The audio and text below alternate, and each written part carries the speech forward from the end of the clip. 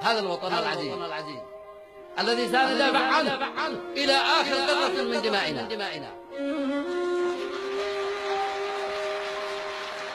لن تهزنا العواصف. ولن تهزنا الرياح مهما كان الثمن.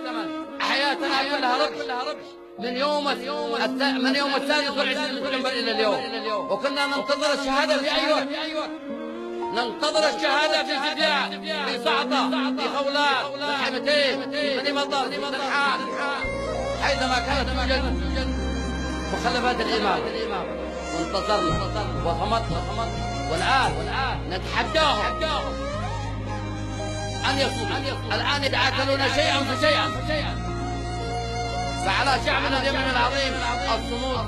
ومواجهة هذا التحدي في العدل في القرى. في المدن. في الطرقات واجهوا التحدي بالتحدي اليمن غالي.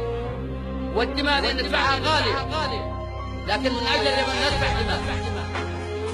من أجل وحدة اليمن ندفع دماء. ونضحي